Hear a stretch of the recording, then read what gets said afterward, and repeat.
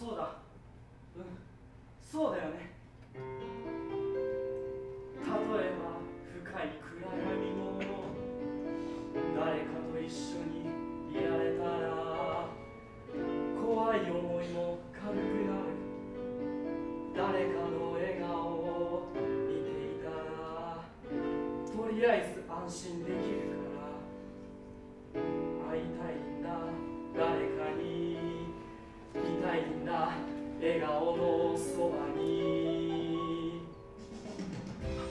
さんこっちです。ああ片桐。ごめんごめん待たせちゃった。あいいです全然。それでどんな感じなの？いやーそれがもうなんていうかどっぷりブルーの世界っていうか内定を早めにもらえて就活は順調な方だったと思うんですけど実は何も考えてなくて俺。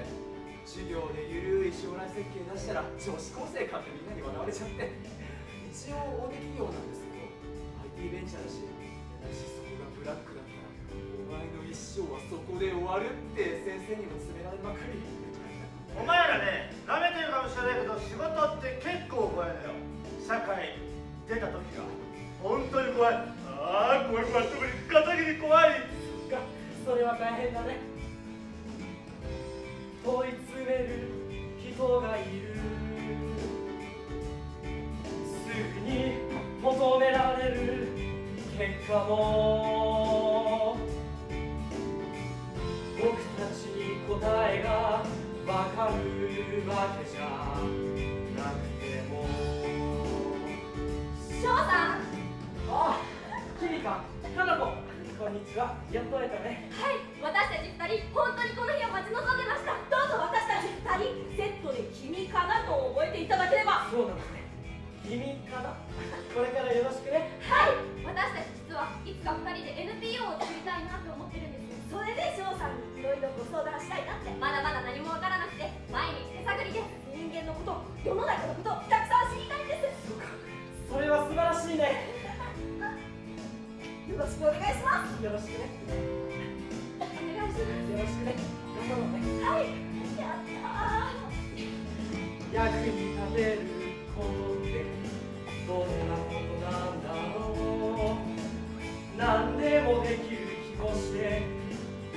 もできない気もして。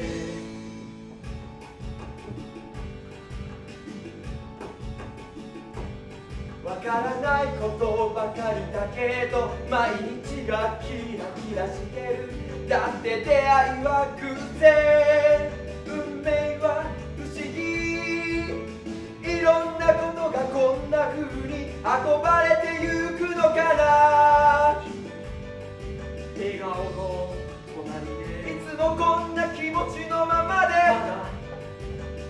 の隣で生きていきたい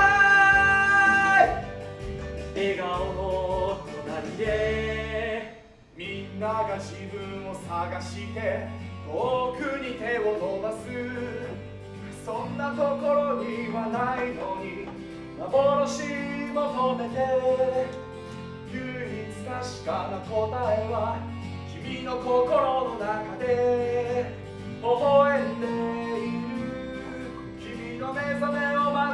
い